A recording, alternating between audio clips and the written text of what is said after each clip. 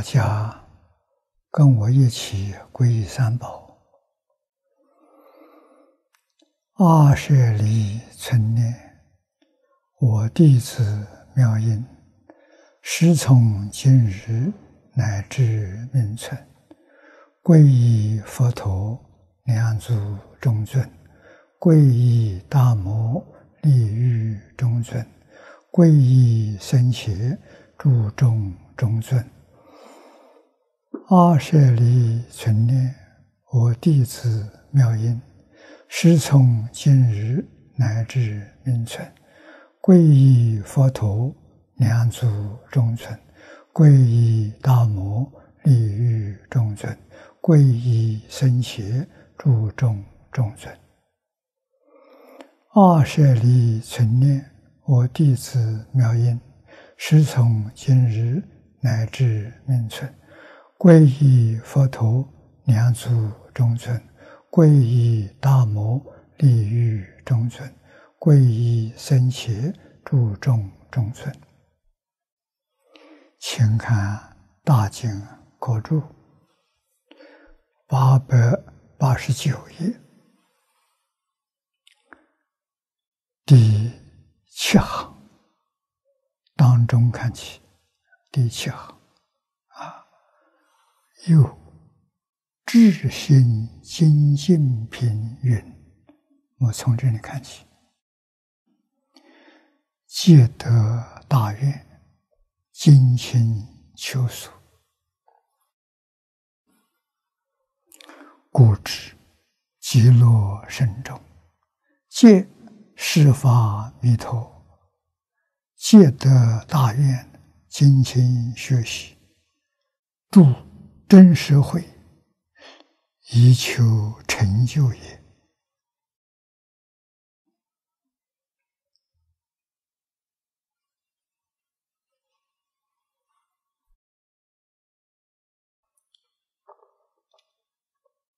年老在此地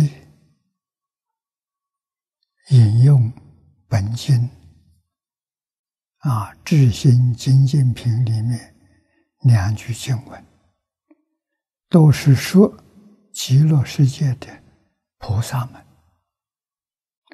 每一位往生到极乐世界，都是菩萨；凡圣同居土，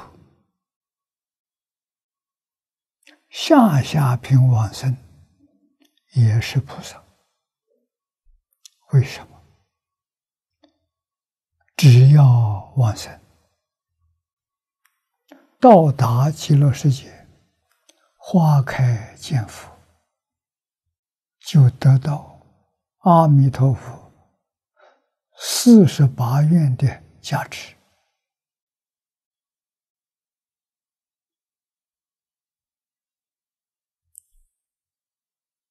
以及阿弥陀佛。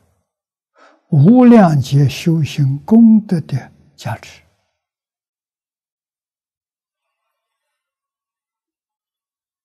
你的神通、道理、智慧、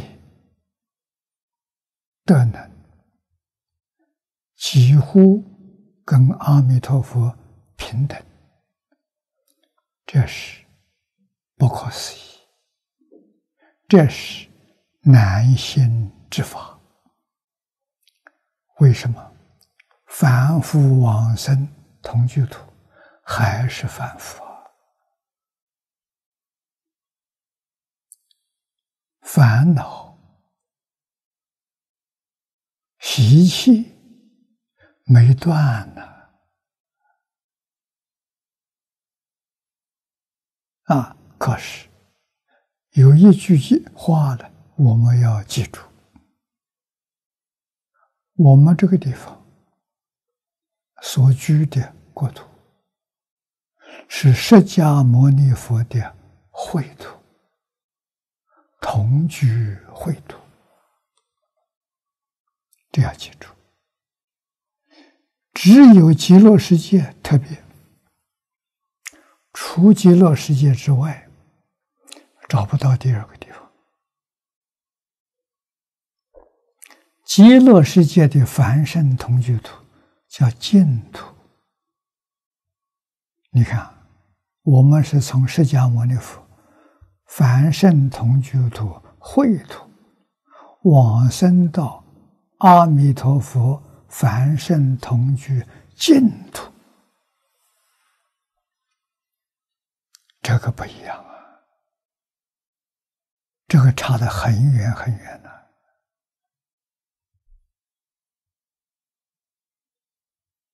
啊，换一句话说。我们到极乐世界，烦恼不断，自然不见了，自然没有了。什么原因呢？经教里头，佛常说：“一切法缘生，一切法的现前要有因，要有缘。”它才有果啊！我们这个世界有善缘，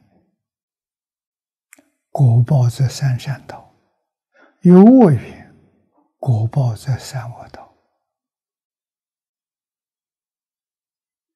净业三福里面告诉我们讲的好啊，第三福。发菩提心，深信因果，读诵大乘全见行者，深信呢。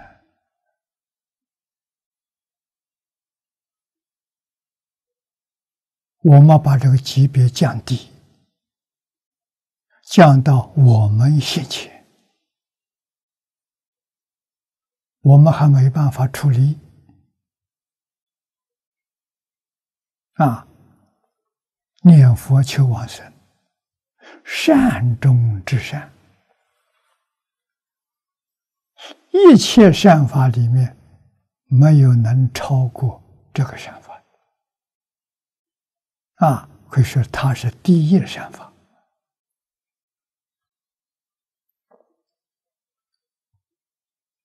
那么，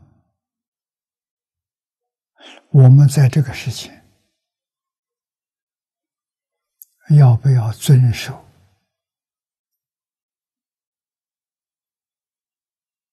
佛菩萨的戒律？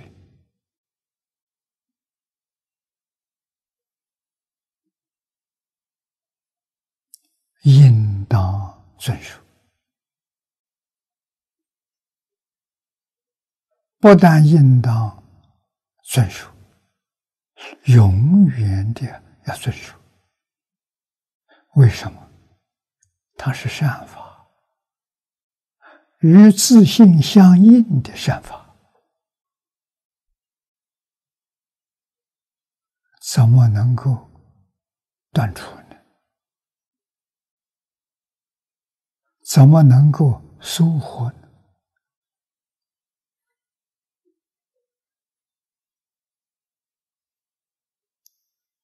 阿弥陀佛的愿文了不起，第十八愿甚至于说，我们在现前造作无逆十恶，要知道，造作无逆十恶是没有遇到佛法，遇到佛法之后。还造无逆受，这人讲不过去啊！没遇到佛法可以，你造作罪业，没人说你，你自己不知道。皈依三宝之后，再造无逆受，这个不允许。为什么？这是对释迦牟尼佛的大不敬，也对西方极乐世界阿弥陀佛的大不敬。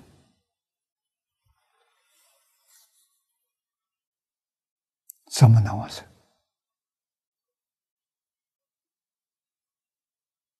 临命终之前，一口气没断，真正至诚忏悔，后不再造，也能感动弥陀来接引你往生，极显阿弥陀佛大慈大悲。到了基础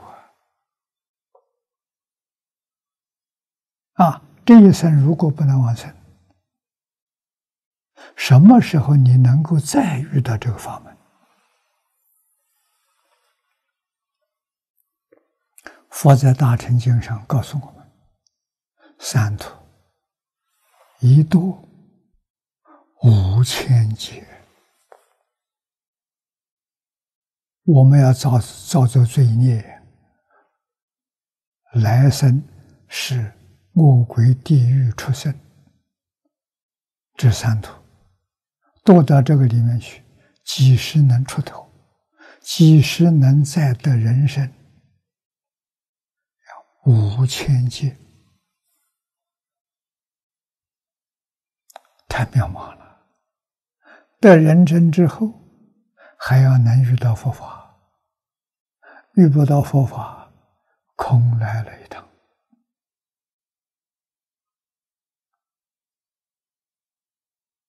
我们这一生现前非常非常幸运，的人生遇到佛法，还遇到大乘，还遇到无量寿经，遇到净宗法门，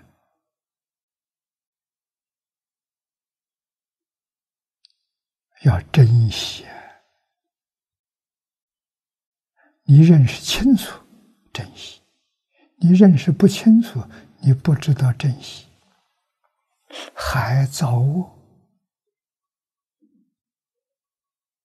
啊！身还干杀盗淫，口还是妄语两舌，其余恶口，意充满了贪嗔痴慢疑。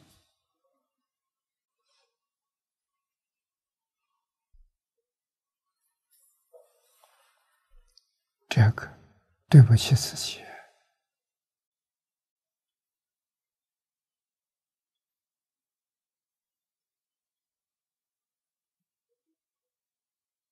我们每天呢，应该用这个来反省，提醒自己，勉励自己，要认真努力，精心。不懈啊！向极乐世界诸菩萨看齐。底下说的是极乐圣众，四土三杯九品，同居土下下品往生的，都包括在其中。四法弥陀，皆成大愿，精勤修习，住真实会，以求成就也。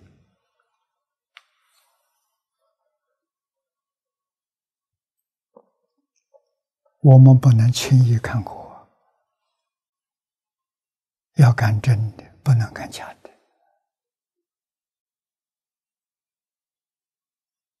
啊，阿弥陀佛不在我们面前，我们怎么样向他学？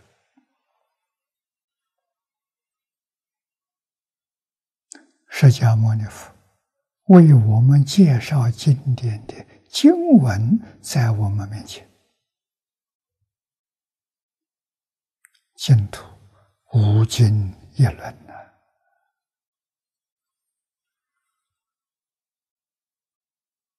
啊，无尽无量寿经，观无量寿经，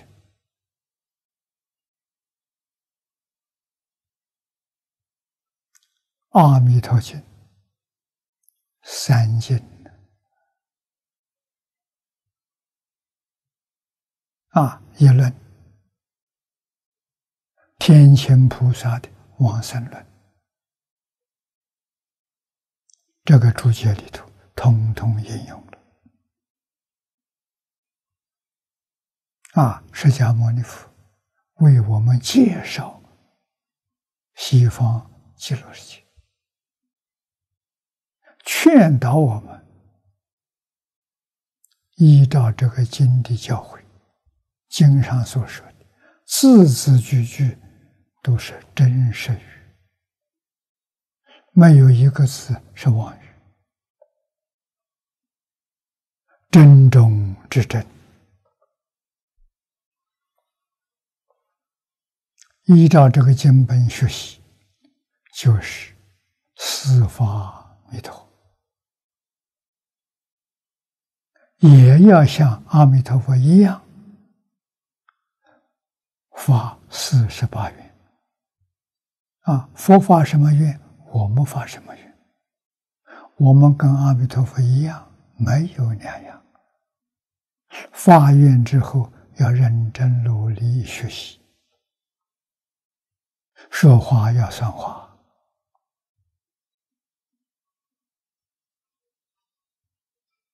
这是真正的弥陀弟子。啊，这就真的是主真实会目标，以求成就。什么成就？临命终时，阿弥陀佛来接引我们往生，就是成就。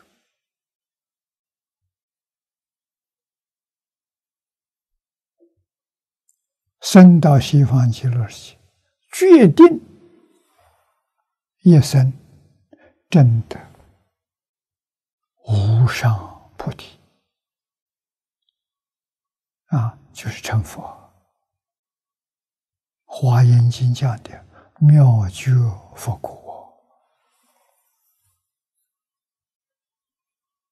我们到极乐世界求成就。这个法门是把修行正果分成两个段落。啊，八万四千法门里面没有的。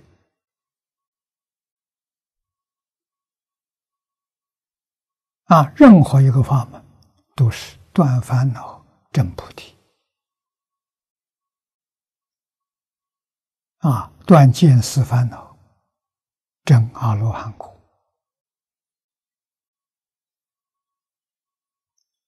破一片无明，见一分真心。正大乘原教初住菩萨，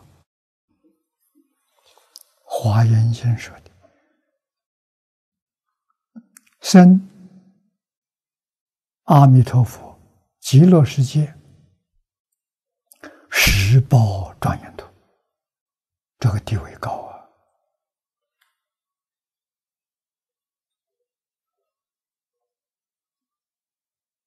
啊，通通都是修因正果啊，唯独西方极乐世界修行功夫不足，也能往生啊！只要你真正相信，没有怀疑，真正发愿求生净土，也没有怀疑。往生的条件你就具足了啊！念佛功夫前身，那是往生到极乐世界，品位不同啊！功夫不够，没功夫的人，临终一句阿弥陀佛求往生的，这就是。凡圣同居净土，下品下生，好啊！下品下生得到了保证了，绝不退转，一生成就，生到极乐世界，佛无量寿，每一个往生的人，啊，就是凡圣同居净土下下品往生的，也跟阿弥陀佛一样无量寿。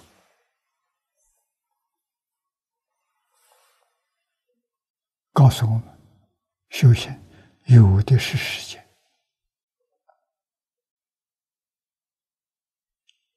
不会中断的。以无量寿身呢，跟无量寿佛，哪有不成就的道理？所以西方极乐世界是保证俗成办，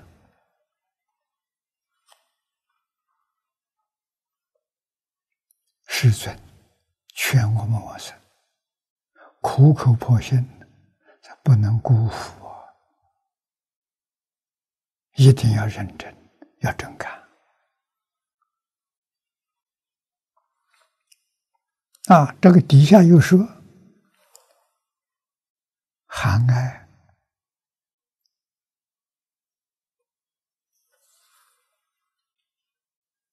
慈悯、寒哀是大悲心，慈悯是大慈心，就是通常我们所说的慈悲。大慈大悲啊！不但是世尊弥陀，一切诸佛大慈大悲都达到究竟圆满。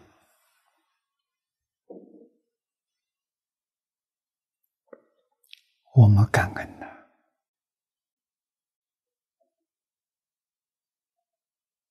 诸佛如来的慈悲心从来没有中断过，我们只要发现他的慈悲，就时时刻刻在照顾我们。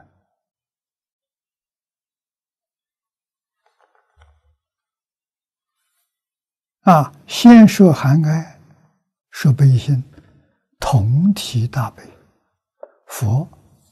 看到我们在这搞六道轮回，怜悯心呢？我们实在太可怜了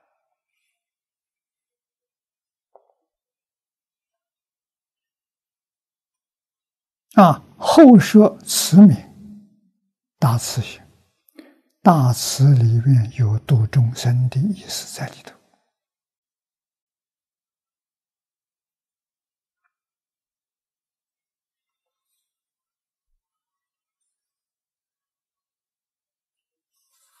啊，所以念老接着告诉我们：一大慈悲故，虽明知十无众生可度，而度众生之心愿无有穷尽。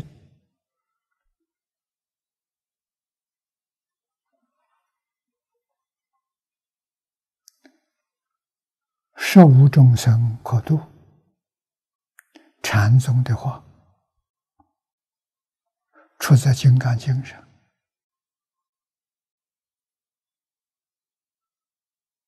啊，这是真话，不是假话。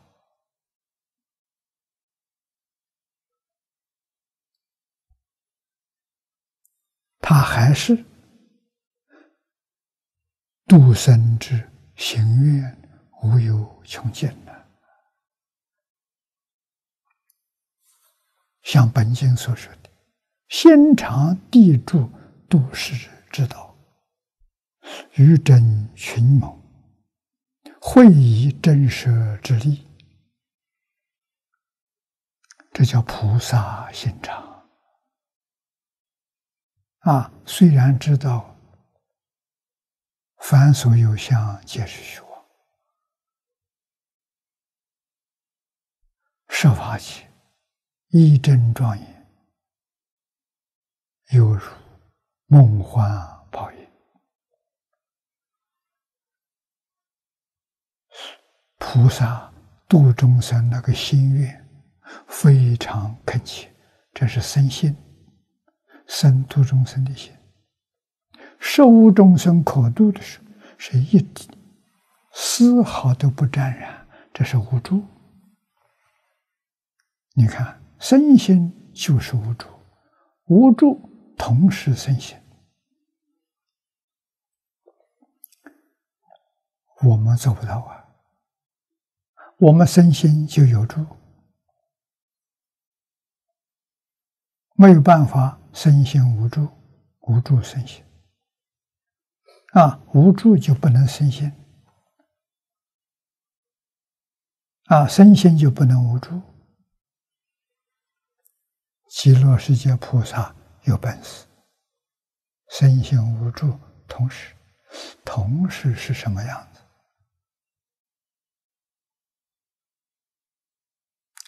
就像我们看电视。同时看到画面，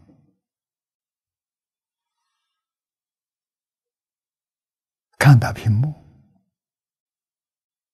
屏幕跟画面同时出现，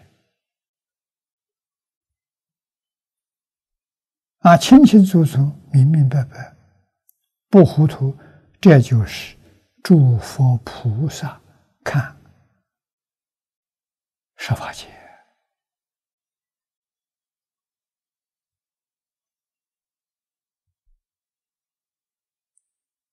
色相清清楚楚，音声明明了了，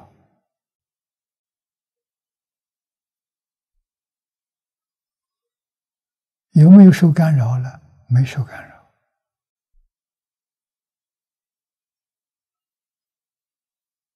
有没有放在心上？没放在心上。行。这叫修行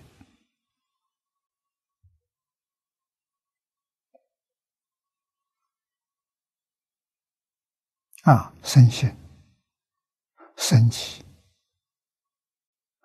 众生无边是愿度！烦恼无尽是愿断，断烦恼是无助。身心度众生，啊，发度众生的大愿是身心。身心不爱无助，无助不爱身心。谁做到？法身菩萨。我们在日常生活当中，六根接触六尘境界，要善于用心。要会用心呢，会用心就是身心、身度众生的心，不住，没有度众生的念头，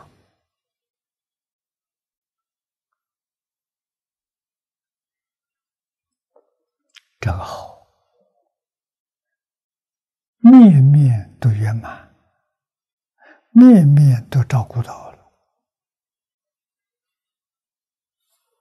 啊，所以一定要有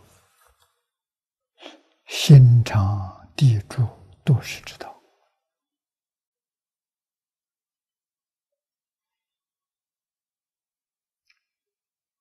这就是。一切诸佛菩萨的存心，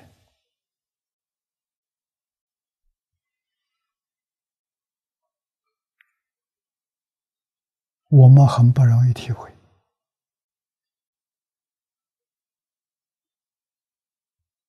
为什么无助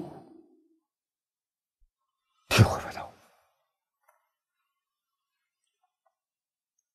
啊！常住度世之道，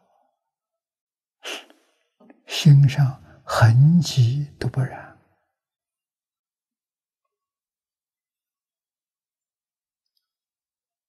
没有在这个境界里头动摇过，这个自心本定啊，让我们从这个地方深深体会到，慧能大师开悟的时候，五句话是一句话。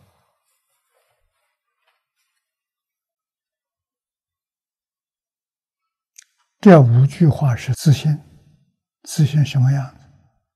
本自清净，不生不灭，本自具足，本无动摇。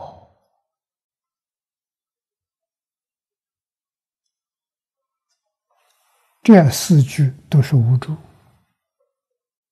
最后一句“能生万法”是身心，身心跟无助是同时的。能生万法，万法怎么样？万法清净，没污染；万法不生不灭，万法具足万法，本自具足啊，妙极了。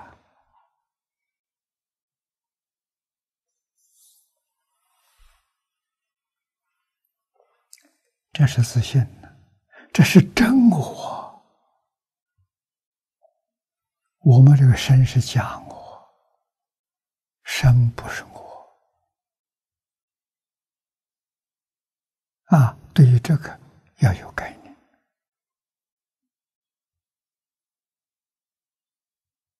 就有受用处。啊，就知道我们怎么学。啊，眼见色，在色上用功夫，用什么功夫？入定，看得很清楚，不为外头境界所动摇，看得清楚，看得明白，是般若智慧现前。啊，心里没有起心动念，这就是不起心。不动不分别，不执着，心是清净的，没动摇啊，真心呢？啊，真心是戒定慧三学具足，统统在里头。一即是三，三即是一。戒，无论是哪一条，不杀生，是清净，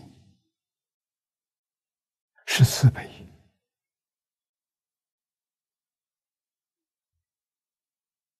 与自信相应。如果起心动念，那就不相应，变成人。变成世间法了，啊，放在心上就是世间法，不放在心上是除世间法。真正达到不放在心上的，那是佛，那是化身菩萨。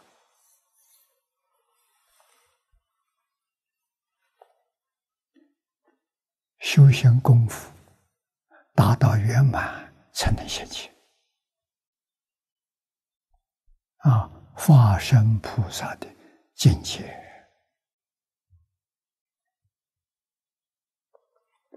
《华严经》原教大臣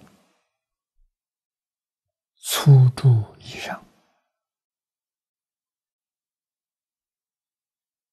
四十一位法身大师，诸宝图，是宝图。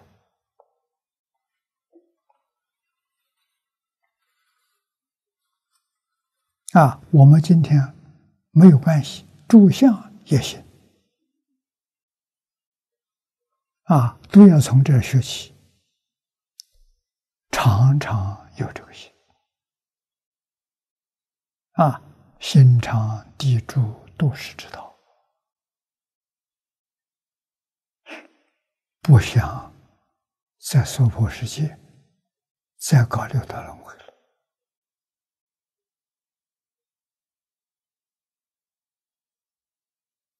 这个道就是信愿持名，往生净土。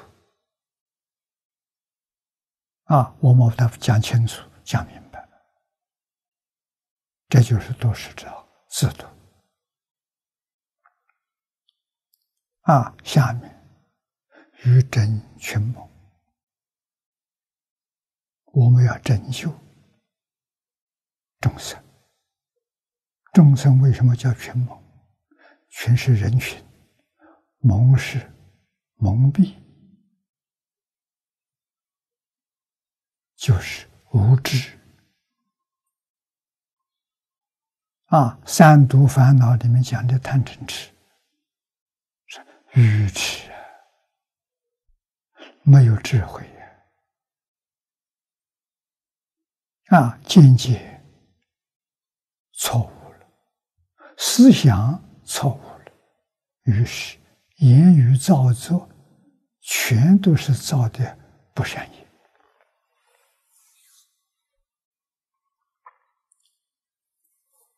啊！那我们要发慈悲心、怜悯心，帮助这些众生，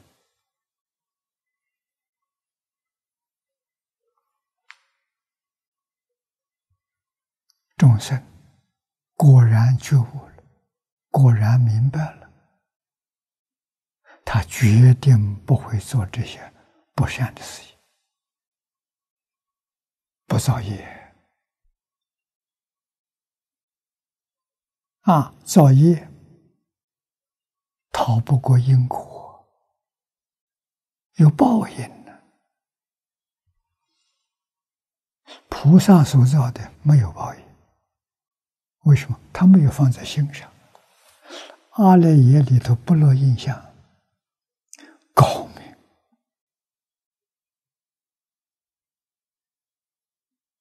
我们要学的就学这一招啊，也跟他一样，阿赖耶不落印象，难，很难。弥陀有善巧。教导我们一个方法：心上只放阿弥陀佛，好，不能放别的，善恶都不能放。啊，断恶不着断恶的相，修善不着修善的相，让自己的清净心现前。啊，能大师第一个就说清净。清净不没有染污啊，啊，造恶没有恶的染污，修善也没有善的染污，所以他不住六道轮回，他跟六道轮回没关系。这个道理我们要懂，这个方法我们得学会。那么，其所借得之大愿，就是度化众生大愿，自然其理其迹。我们在这里去体会，什么是自然？自自然然，没有丝毫勉强。啊，气体跟自信相应，就是无助，它不住。啊，气机是跟身心相应。啊，不管什么样的根基，它都有善巧方便去帮助他。啊，下面都是这个意思，找真大俗。啊，真是。真心、自信，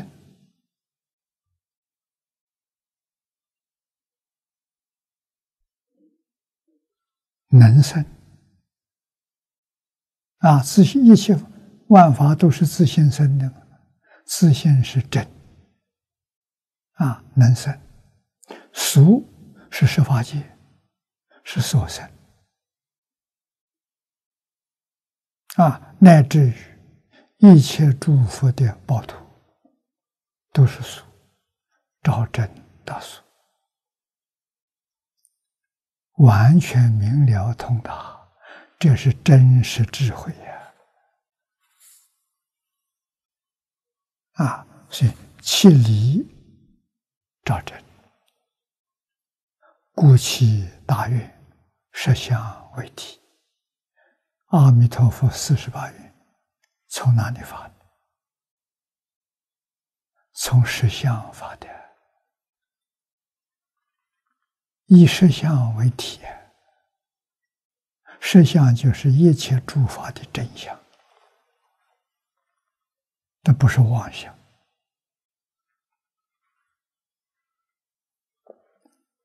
那真相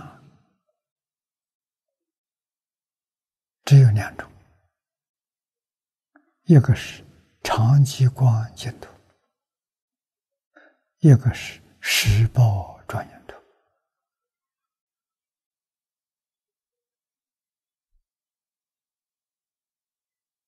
长极光土是大愿的本体实相，十报庄严土是大愿的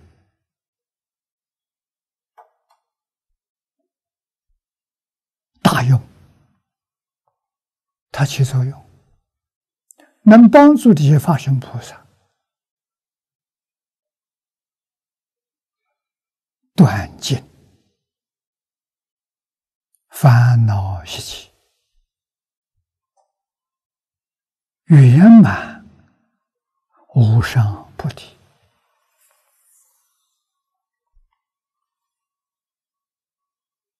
啊，也就是大愿是体从体起用。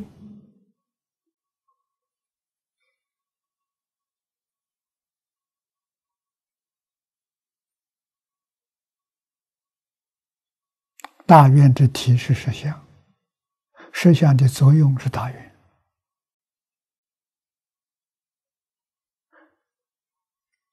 体里头有用，用里头有体，体用是一，体用不二，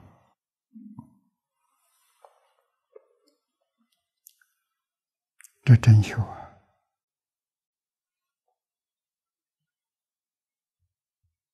我们虽然还做不到，但是概念要清楚，不能模糊，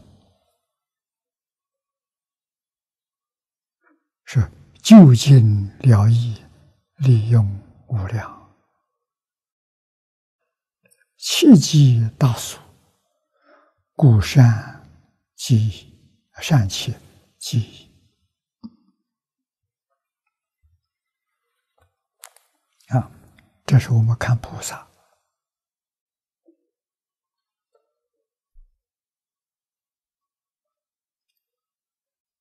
菩萨的行愿，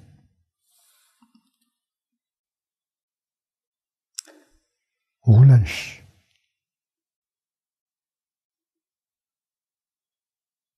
报身、应身、化身。应身化身，在六道轮回里头。啊，报身。在西方极乐世界，一切诸佛如来的十宝庄严土，释迦牟尼佛的十报土是华藏世界啊，所以。八万四千法门所成就的菩萨，他们不生西方极乐世界，他们证得初住以上，都往生在华藏世界啊，就是释迦牟尼佛的宝图。啊，佛在这个报图里面现报身，报身的身相很大，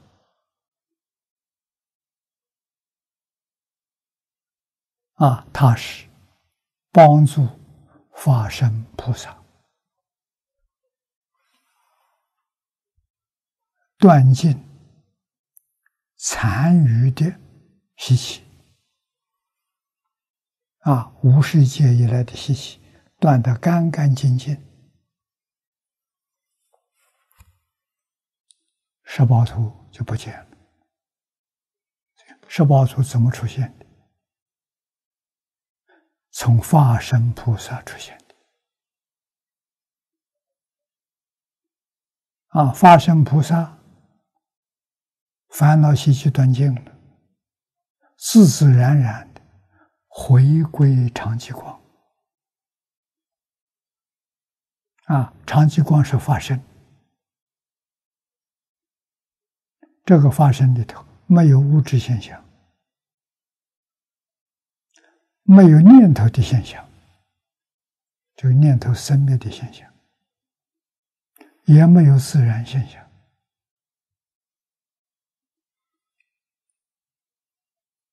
什么现象？释迦牟尼佛。在《无量寿经》这一会上，告诉我，他的像是长期光，在哪里？无处不在，无时不在。长是不生不灭，叫长；极是清净无染，没有染污。极尽光，光明遍照啊！一切诸佛如来，明心见性到究竟圆满，通通是长久光啊！像我们这个小教堂啊，也有十几盏灯，每个灯光都开了啊，这房子是一片光明。这光明上，每一个灯都有分。你关掉一个灯，这灯光没有了。啊，你这个灯打开的时候，跟别的灯融在一起，分不开。啊，所以只要进入长寂光了，十方三世，所有一切诸佛如来都在其中，全变成一体了。一切诸佛修学的功德，统统也融在一起，无量的智慧，无量的德能，无量的相好，样样都是无量，没有一法不是无量的，圆满了，得大自在啊！哎，学佛为什么就会这个？啊，要知道。这是我们自信本自具足的，不是外来。大乘经上讲的好：“心外无法了，法外无心。”向心外去求啊，那都是假的，都不是真的。所以科学是不是真东西啊？何况科学在一个愚痴的人他手上掌握了。他去应用它了，造业啊！如果遇到一个有智慧、有德行的人时，他替众生带来幸福，带来方便，可以啊，未尝不是好事。如果带来灾难，就错了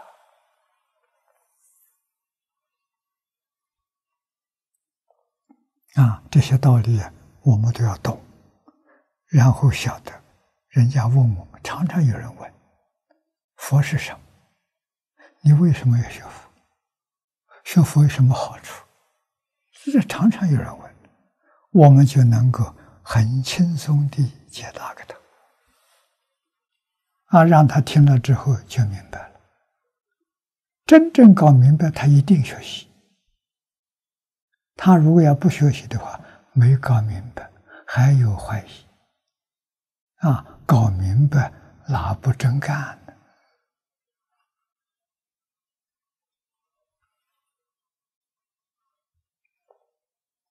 早年，方老师把佛教介绍给我，我跟他学哲学，他给我讲一部佛经哲学，我很好奇。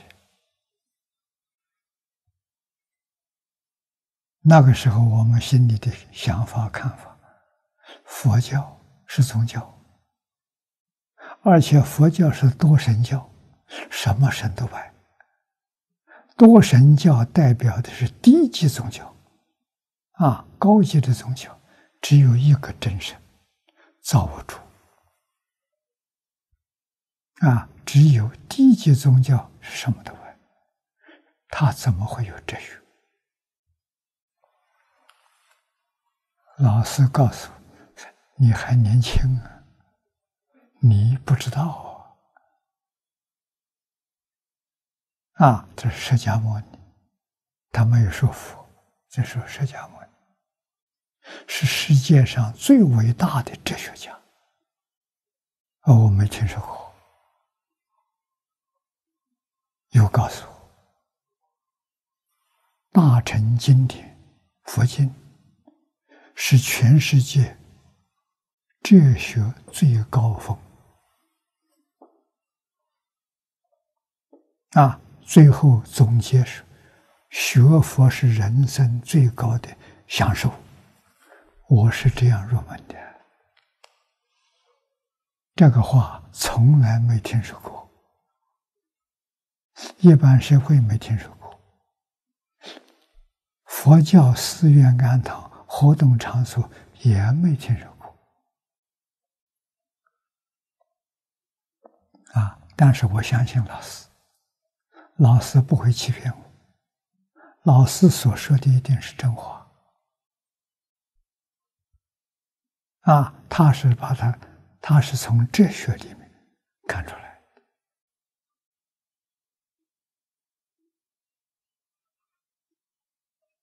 释迦牟尼佛。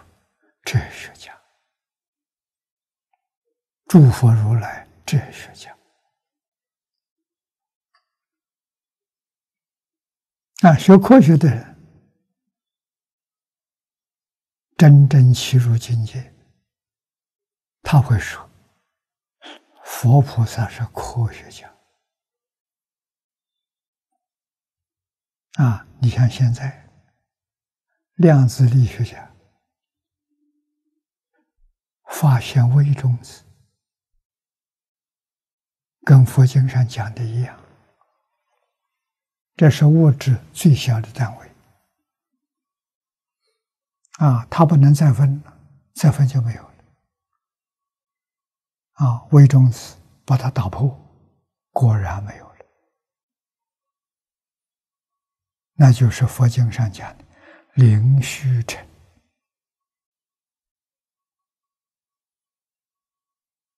啊，极微之微，这是物质的本体。所有物质现象都是这些尘组成的。哦，这灯从哪里来的？从念头生的。这个经常讲的很多，相由心生，一切法从心想生。讲的很多啊，这我们很难懂啊。量子力学家告诉我，当极微之微打破之后，物质没有了，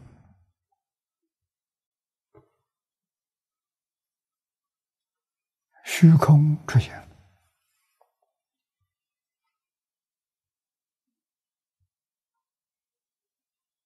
啊，这个虚空是怎么回事？是念念力啊，念力波动产生的幻想，这就是物质现象的本体啊，是念头产生的幻想。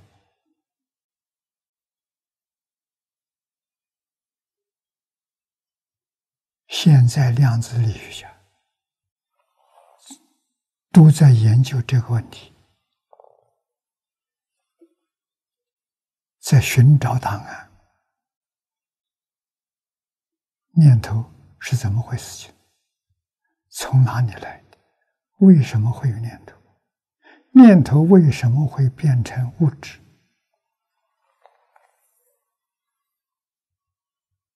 这宇宙的奥秘。啊，量子力学家很聪明。现在最先进的工具，他们所使用的显微镜，啊，能够看到极微之微。啊，这是一般显微镜看不到的。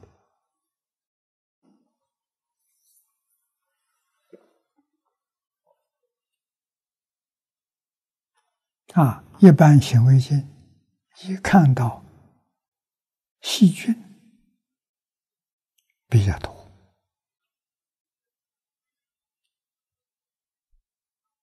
啊，我早年有严重的牙周病，不晓得什么叫牙周。啊，原来就是牙齿跟牙龈当中看到好像有个黑线。那就是牙周病。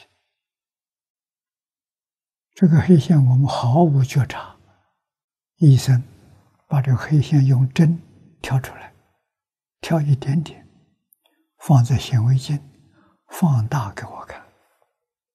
显微镜整个画面就像小虫啊，是在讲像蛆一样啊，像粪坑的蛆一样。整个荧幕变成画面，看到真可怕了。就牙齿那一点，啊，针尖上一点，啊，在电视机里显出来整个画面，才知道害怕了。怎么会是这个样子？用了好几个月的时间。细菌没有了，啊！再在牙齿上刮一点下来时，一个都没有了。啊！我记得我，他给我医疗的时间八个月，彻底搞干净。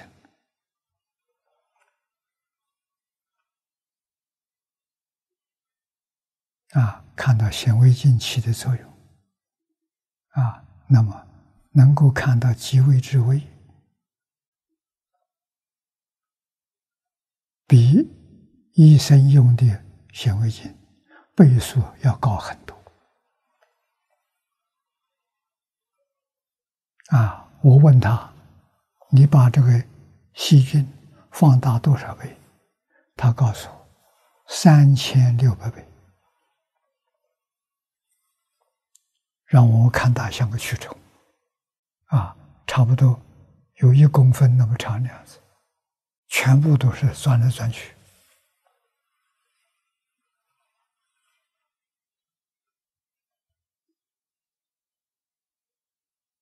啊，医学的工具不断进步。啊，念头实在太危险，念头的生灭，佛经上讲的。我们把它换成秒，一秒钟波动多少次？啊，两千两百四十兆次，啊，单位不是万，不是亿，是兆。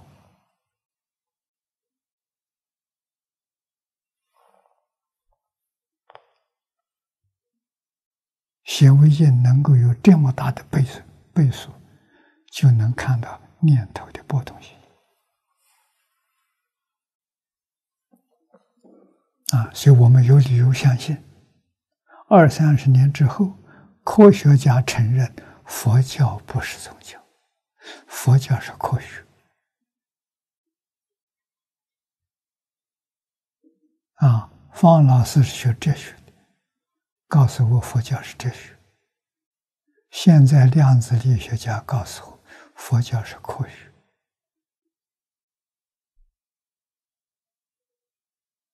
每个人都应该学。为什么？佛在经上说：“一切众生本来是佛。”你说你要不要学？学了什么？认识自己本来面目啊！这是佛经上一句老话了。你学我干什么？父母未生前，本来面目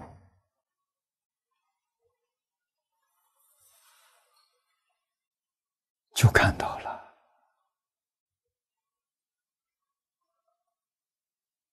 啊！看到了就成佛。那么科学家讲的，能不能从科学上成佛？啊，他看到了，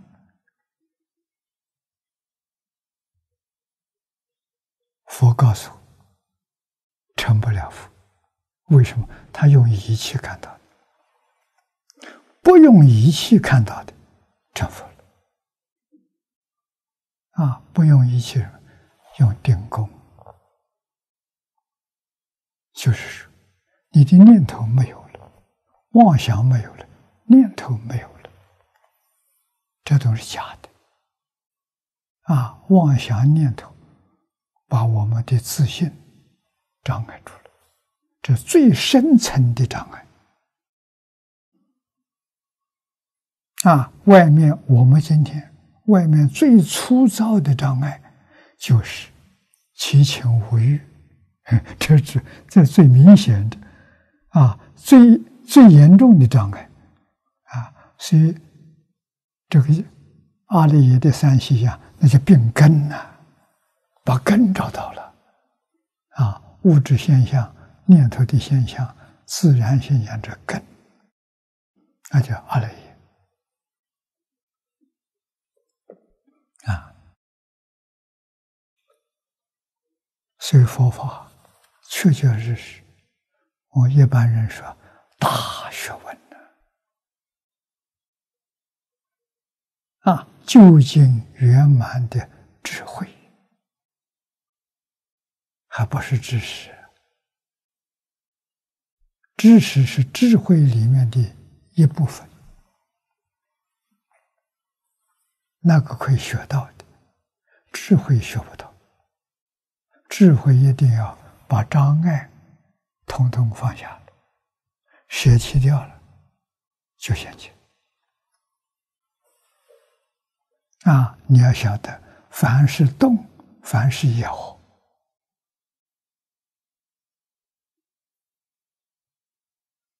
在佛法里就叫它做根本无明。它动摇了，心动，心一动。就灭了，变成，变成阿赖耶。啊，不动，不动是自信；一动就变成阿赖耶。啊，阿赖耶就产生三细相。啊，这个三细相就是物质、念头。跟识，识就是阿赖耶识，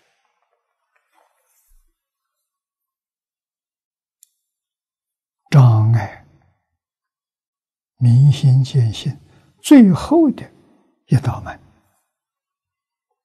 阿赖耶识，突破阿赖耶识就明心见性啊，他要靠定功，科学技术达不到。啊，科学技术。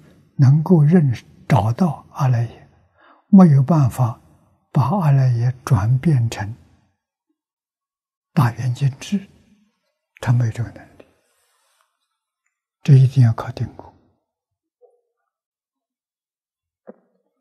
啊！所以将来科学发达到最高峰的时候，科学家都要到禅庭、禅堂里面去入定，他才能突破最后一关，才能成就无量的智慧。自性本具的，这不是外来的，智慧自然开了。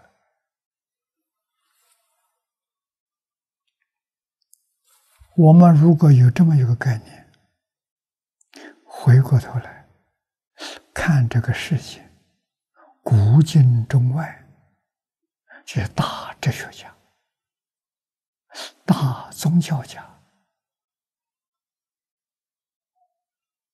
啊，在外国。看我们中国，老庄、孔孟都是哲学家，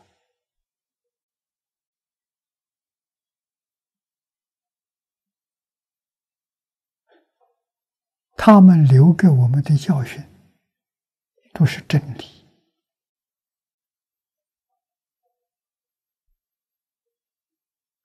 绝没有妄言，真理永恒不变。你要是变了，你肯定出乱子，肯定灾难。啊！你是老祖宗给我们讲的，甚至于在前面推尧舜禹汤文武周公，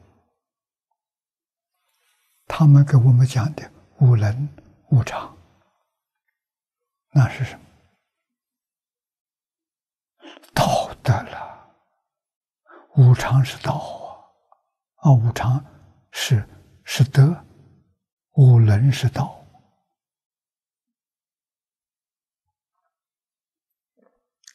再往下演变，四维八德，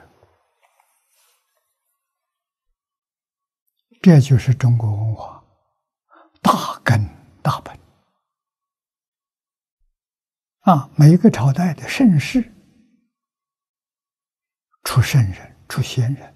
出君子，都从这个根里生，这能变吗？啊，根之根，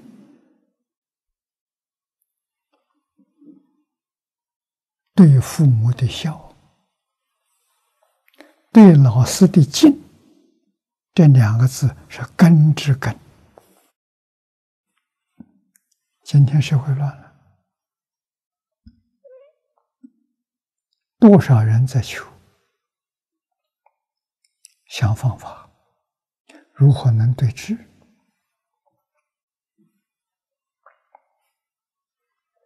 方法有没有？有，什么方法？教育，叫什么？叫孝，叫敬，一定要从根本下手。这什么？信得了，才相应的啊！要从什么时候开始？中国过去的教教育是从母亲怀孕就开始，叫胎教。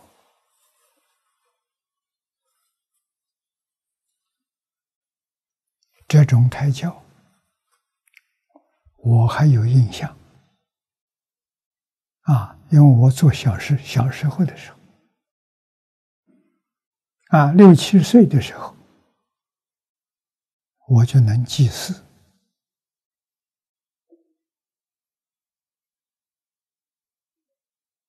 啊，看到父母、老人、亲戚、家里的亲戚、朋友们对老人。都有孝心，都有恭敬，啊，跟自己父母年龄差不多的，都当父母看待，啊，比我大个十岁的，都看作兄长看待，那时候你看得到啊，到处都看得到啊。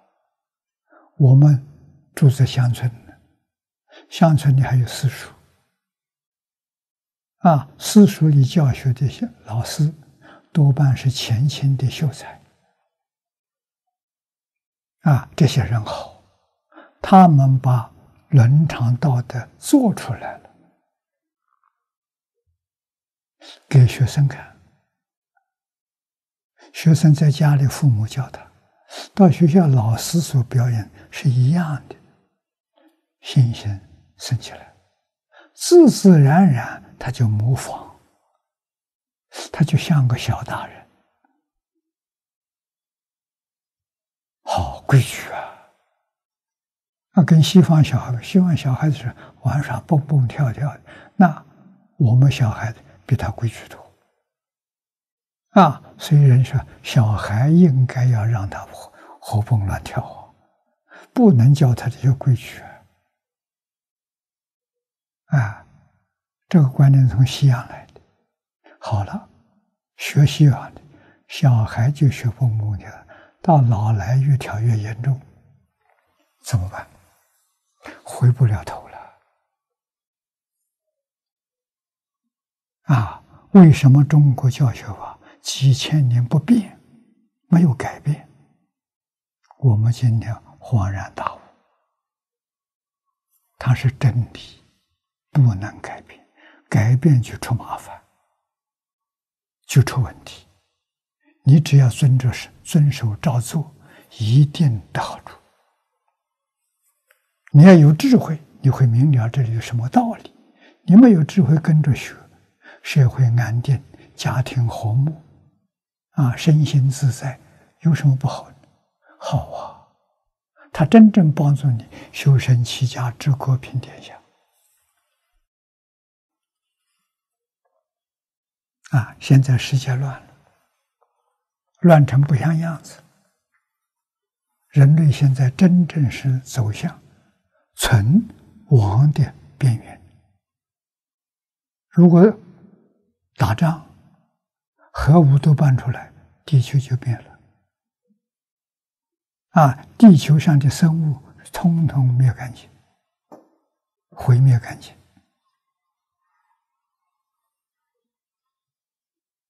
啊，今天的飞弹跟投在长崎、广岛不一样啊，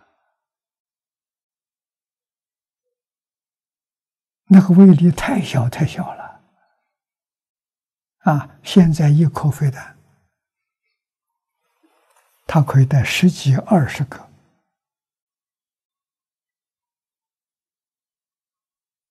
核子弹，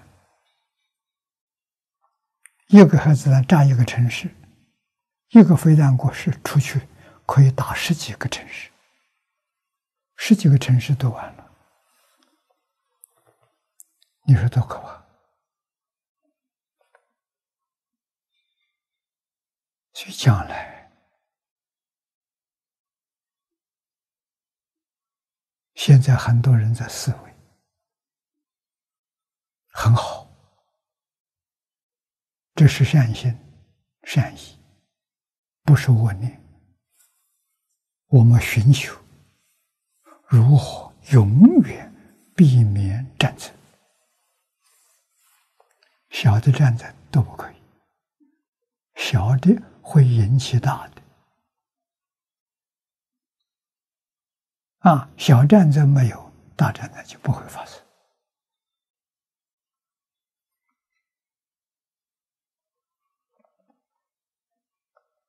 这个重要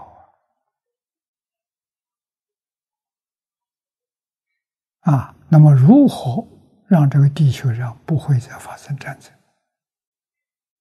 有人提倡。地球上要变成一个国家。英国汤恩比博士他说的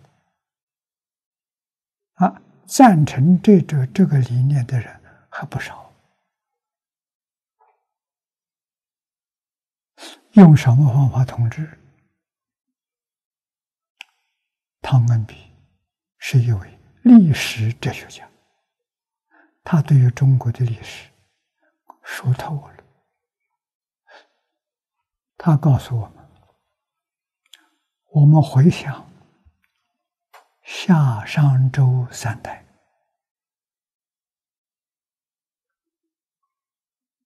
啊，夏商周三代是两千年啊，夏。四十年，四百年，商六百年，周八百年，加起来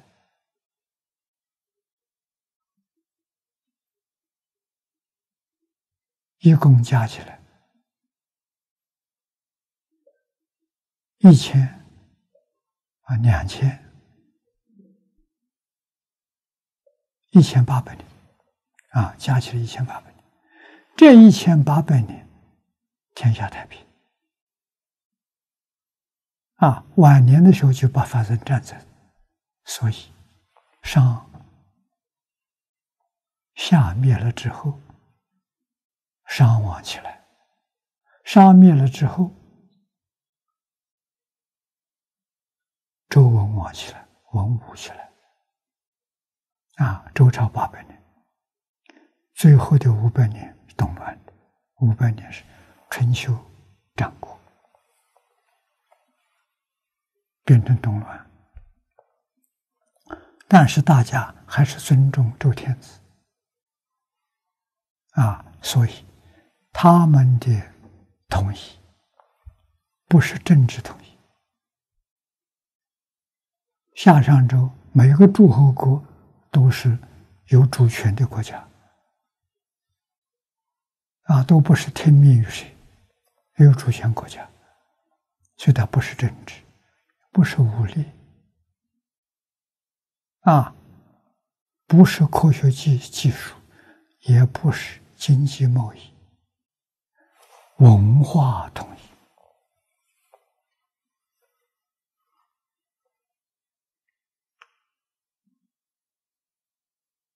啊，所谓的是书。同文，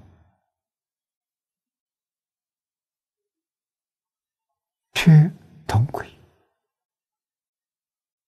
啊，就是大家日常生活当中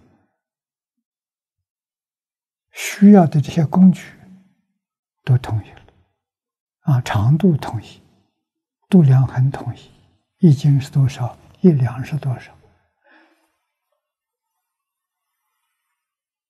每个诸侯国都一样，啊，文字统一了，念的音不一样，个人念个人，意思是一样，啊，所以说话听不懂没关系，写出来读懂，啊，所以汤恩比博士他们的心目当中就要像夏商周一样。全世界统一了，啊，英国还是英国，法国还是法国，啊，不是你固定名字没有了，不是的，还是一样，要书同文，啊，这东西很容易做到，这都做到了，问题就是如何把文字统一。那文字用什么字？要用汉字。这是欧洲学者提出来的汉字的好处，它不跟着时代变演演变。两千五百年，孔子介绍孔子的一部书《论语》，两千五百年前孔子学生们编的，现在人看得懂，一点问题都没有，所以。中国文字超越时空，啊，外国文字做不到。我们在英国访问，校长告诉我们，英国人现在念莎士比亚的作品看不懂，啊，为什么？他们的语言会变，文字跟着变，这就是说，用什么来统一全世界？用中国的文言文。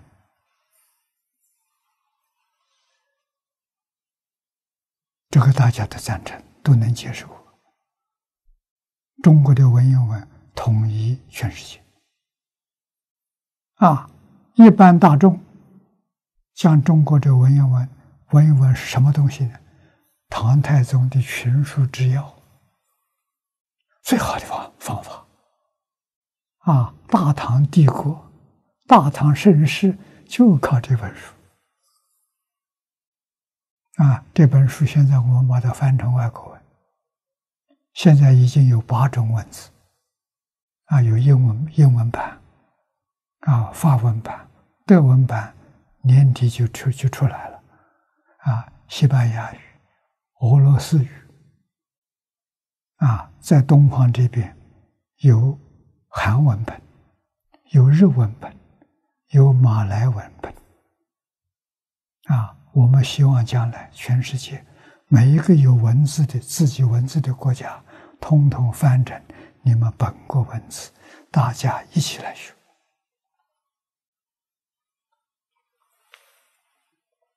真好，帮助每一个人修身，帮助每一个家庭幸福快乐，帮助你的事业。提升，无论是哪一个行业，通通帮上忙，帮助社会和谐，帮助国家富强，帮助世界大同。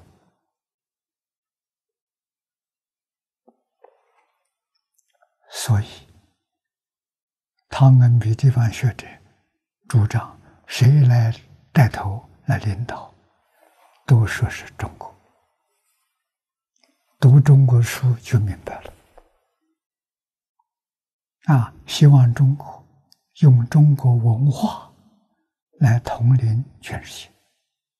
唐太宗编那个时候，从三皇五帝只编到前面一代晋朝，那么晋以后，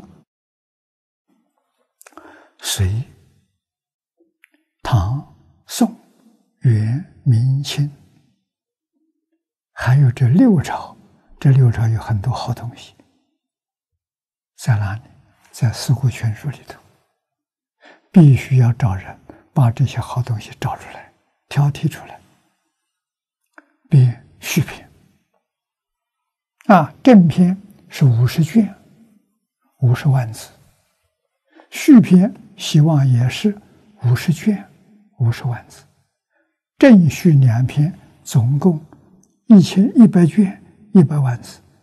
这是《四库全书》精华之精华。起什么作用呢？帮助我们修身。换一句话说，帮助我们这一生真正能享受到幸福快乐的一生。啊，像方东梅先生告诉我。学佛是人生最高的享受，我感他的恩，我得到了，啊，我这一生真的快乐。这个快乐与地位不相干，与财富不相干，真乐啊！啊，佛经上讲的皆大欢喜啊！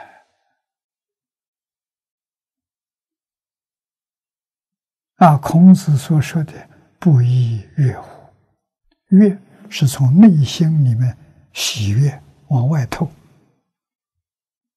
啊，乐是外面境界往里面收的，这是从里往外发的，真乐啊！不假了，快乐从这来的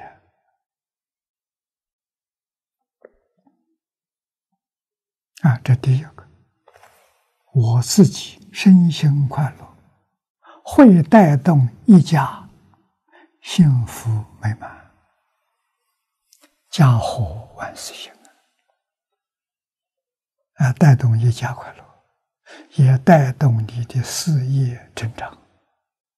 无论哪一行、哪一哪一种职业，啊，都帮助你提升，带给社会安定和谐，带给国家富足，带给世界大同。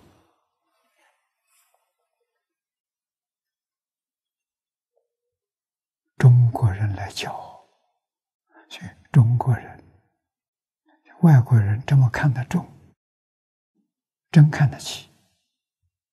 我到英国很受礼遇啊！啊，去年到英国，英国上议院接待我，啊，他们的上议院相当于中国。人大。啊，国家接待很难得。啊，在英国认识了。威尔斯大学校长，他对中国汉学的热忱。超过我，受他感动，他比我还热心。啊，今年九月，我们他找我合办英国汉学，我们就正式挂牌了。啊，预定在今年年底过年的时候开始招生，九月正式上课。啊，明年九月正式上课。啊，我们还有一些培训的师资，师资班预定是明年二月就上课。啊，我们集体来学来培训。啊，九月正式开课，他们就是教授、副教授、讲师的身份。啊，正式开课。这个学校跟一般大学的中文系不一样的，就是我们完全学古汉语。啊，我们的教材不是自己编的，啊，是什么？就是四库，就是群书治要。啊，那我们的根。儒释道的三个根啊，儒家的代表是四书啊，可还没有决定。现在先建议四书五经啊，五经如果太长的话的时候，我们就用四书啊，道家的老子。庄子前面的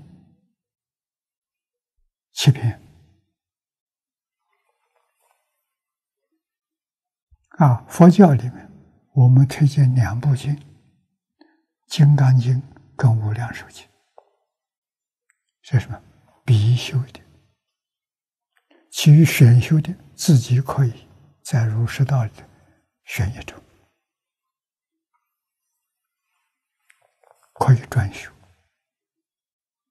啊，一门东西，希望十年修学期间十年，十年之后他就变成儒释道的专家，一门深入，长时熏修，读书千遍，其义自见。我们遵守这个教训，就是学习的理念方法完全用古老的。教材用古人，不用今人。啊，学生学前，我们重视伦理道德的训练。啊，选个几种必读的书。啊，现在有人编了一本小册子，《圣学根之根》，完全是过去私书里头启蒙的。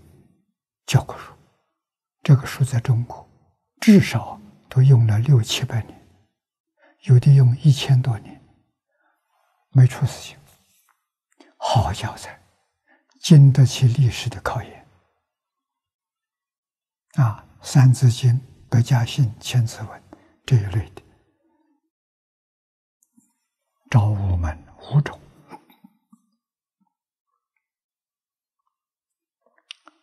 这是没人教的，必须自己要把它补出去，补有补课。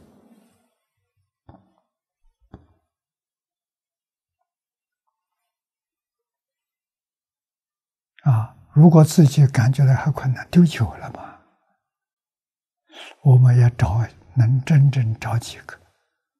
对这个同盟课本的时候。有研究。啊，最好是能教过、能讲过。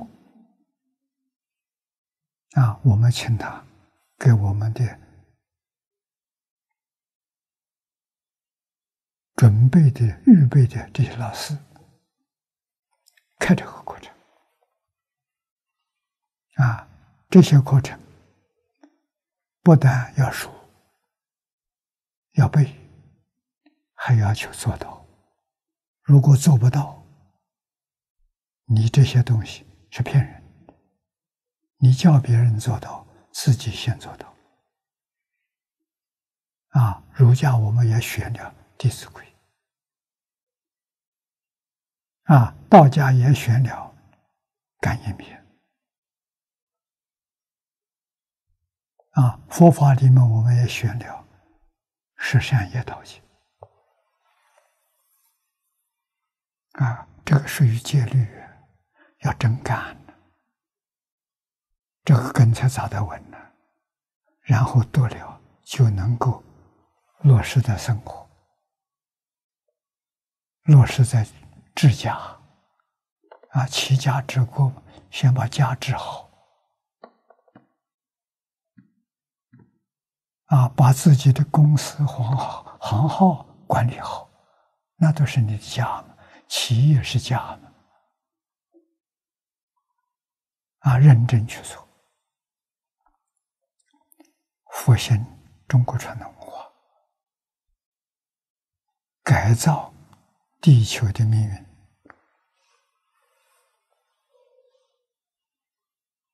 啊，我们欢迎真正有志的年轻人发大愿，救传统文化，救全世界苦难的众生，来发这个大心，来学中国传统文化。啊，真正发心，我们欢迎，我们全心全力支持。帮助你，成就你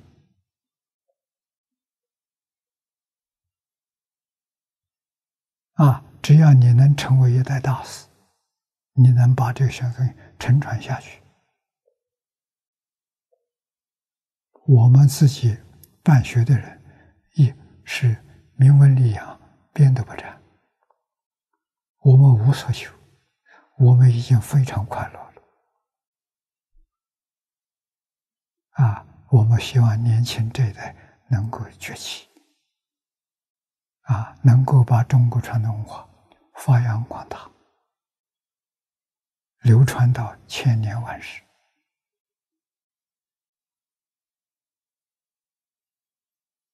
啊，周能享国八百年，我希望将来世界大同。啊，这个地球上出现盛世，至少也要一千年。啊，我们真正有这个认知，有这个决心，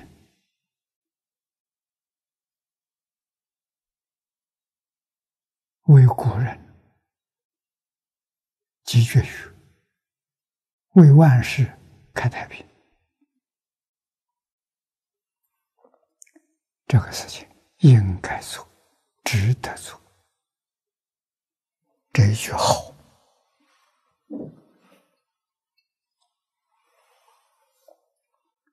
我们从八八九页倒数第五行最后一句念起，这文太重要了。其所借得之大愿，阿弥陀佛四十八愿，就是指这个。我们今天要继承中国传统文化，要学会文言文，是我们现在在地球人上所结得的大愿。我们希望这个大愿的结果是世界和平，啊，把全世界变成一个文化国，同一个。文化大国啊，整个地球就是一个文化大国啊，结得这样的大愿。那么下面就跟经文讲的一样，自然其理其机，照真大俗。这两句是我们汉学院的教学理念。啊，故其大愿呢，实相为体，究竟了义，利用无量，切机大俗，故善切记忆。就是说，什么人、什么条件来学，全球只要是地球人都应该来学。啊，我们这些老师，将来个个都能够拿到。汉学博士学位，在全世界大学、中学都可以教学，啊，更要训练一批年轻的老师，让他们教中学、教小学，啊，让每一个阶层学校通通都有汉学的老师，啊，帮助大家要学，要真正落实，你才有这么好的享受。啊，真正能够幸福快乐美满一生。下面是的，利益多，这一句重要。啊，这是重要什么？我们这种教学，对不同的文化都能合，都可以合作。啊，不同的族群都可以合作。不同宗教信仰也可以合作，啊，有理有义，啊，礼义把我们统合了，啊，宗教要统一，用什么？礼义都合，个个欢喜，没有反对的呀。下面讲仁义礼智信，世间道德也，啊。但此二字，你看，不但代表当时古印度的社会道德，这是年老真实智慧，是泛指后世种种社会各个时代的社会道德与规律，所发之愿必须与之相契，实能为当时社会所容。方能弘扬教义，普利众生。啊，所以我们今天讲佛经，基督教徒来听点头，伊斯兰信徒来头也点头，啊，都说好啊，啊，他们的阿訇主教。来给我们讲他们的经典，我们听了之后也点头。啊，最近这个十几年，我从九九年，啊，我九九年在新加坡，把新加坡的九个宗教团结成一家人，就这个经文。啊，我们主张宗教平等对待、和睦相处，宗教回归教育，而且互相学习。啊，我学我的经，我还学他们的经呢。啊，不学他们经典，就很难合作。啊，一定要融入，互相融入，让宗教里头不产生矛盾。啊，没有冲突，啊，宗教就变成一家。我们提倡，宗教里头都有崇拜一个神。啊，我就用了这个众神一体。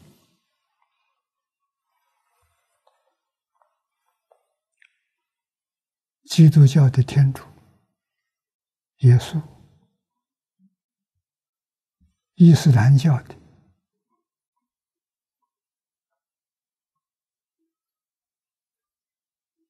真主。啊。啊，每个宗教的创始人，他们崇敬的神明，我的主张是众神一体，都是一个神的化身，宗教一家，平等对待，和睦相处。我在。马来西亚老首相马哈蒂，我们是老朋友了，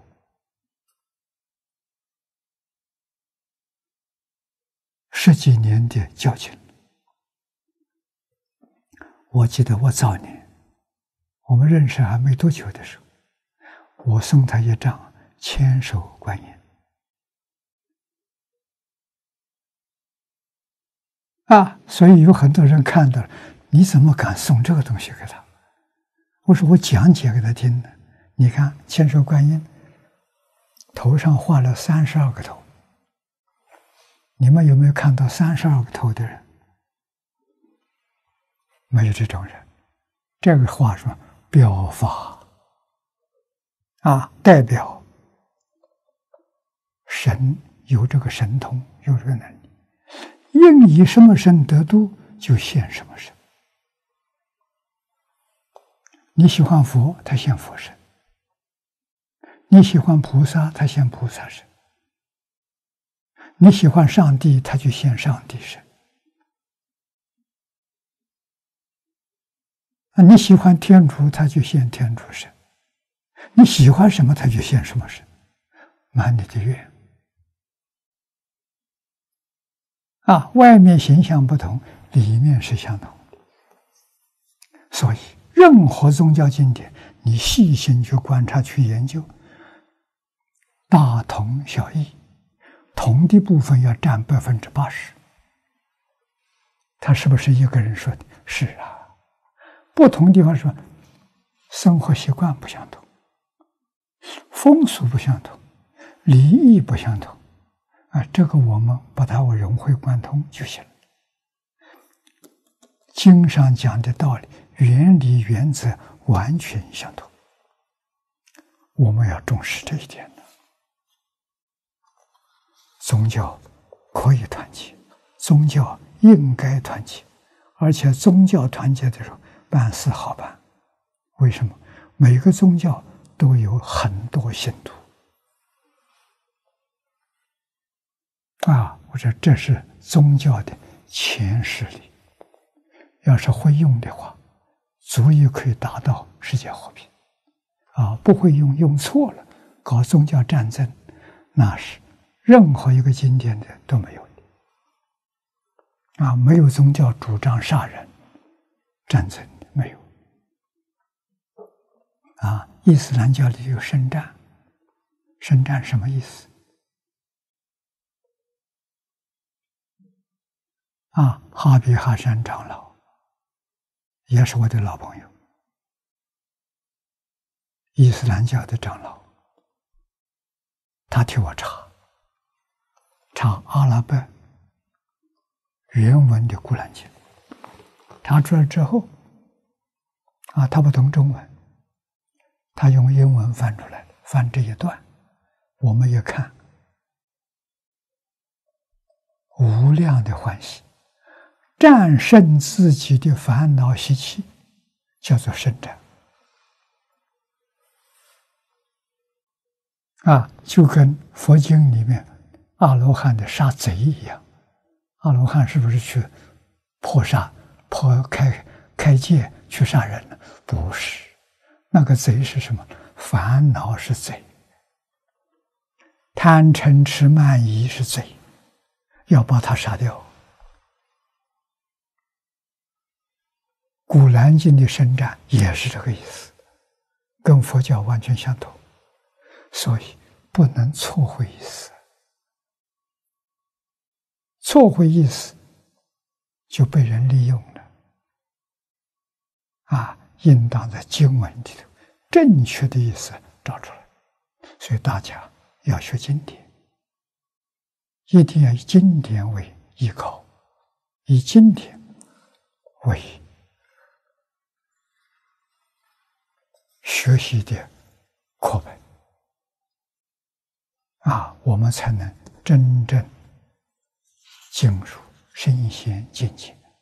所以，我想，每个宗教的创始人都是佛菩萨的化身。啊，连中国孔孟老庄、文武周公都是佛菩萨应化在中国，他们讲的完全相同。啊，个人。生在不同的时代，还有没有见过面？啊，孔子跟老子见过面，跟文武周公就没见过面。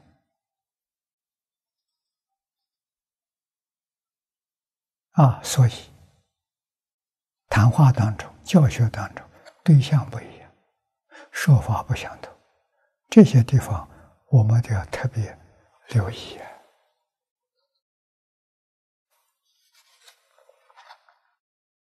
我们才能够真正把圣贤教育学好，我们继承下来，教给后人，我们也要想办法把它教好，这就对了。